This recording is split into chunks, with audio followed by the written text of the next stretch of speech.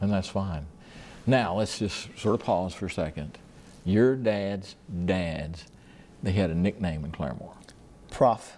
Prof. Jones, Jones. Professor Jones. Now, He was the principal at in my time, I can't think of a time, I must have been very young when he passed.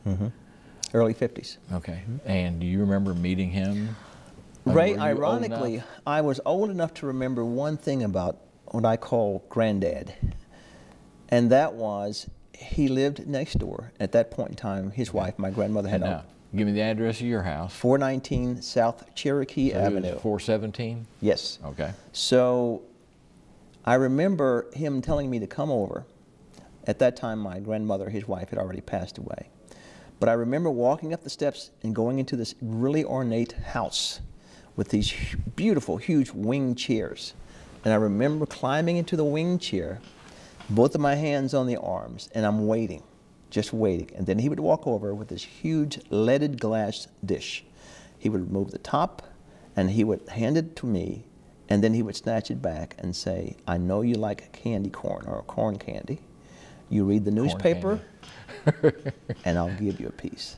Read the newspaper. Read the newspaper. So then he would put the glass dish down, put the cover on it, and he would sit there, hand me a newspaper, and I'm all of maybe two or three years old. So you go to and I would doing I would do what you just did when we began this interview. Yeah. He was just making up things. Yes. And he would say, "That's that's very good," and he would take the dish and give me some candy corn.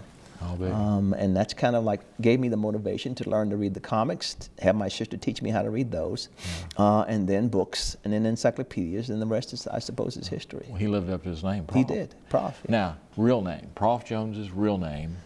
Willie Cornelius Jones. W.C. W.C. Jones.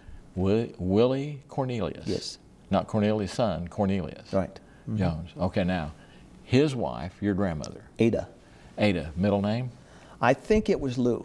Ada Lou. Yeah. Okay. I think it was Lou. Yeah. And ironically, my mother's name, my mother's mother's name was Ada also. Okay. Yeah. Now we're going to flip over on your mom's side. Okay. Let's just confirm. Mm-hmm.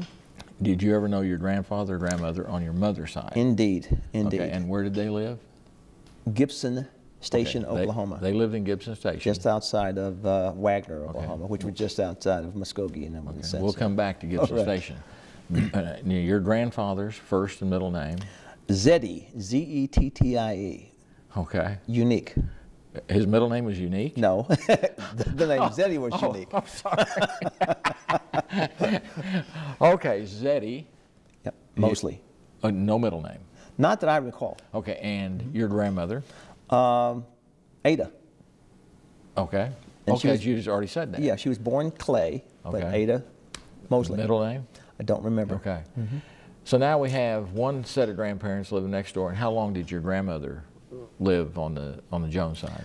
On my dad's side, um, again, she passed away actually before I can even remember. Okay. So it had to have been in the late late 40s, early 50s. Okay, so he was left single for quite yes, a few years. for several years thereafter, I think. And on your mother's side, how long did they survive? Her parents lived uh, actually a long, a much, much longer period of time because I remember uh, in school, at least in elementary school, um, and going down to Gibson Station to visit them. And actually, I remember being in college uh, when uh, my grandmother died, and um, going back uh, for the funeral. So they lived quite a quite a lengthy life, actually.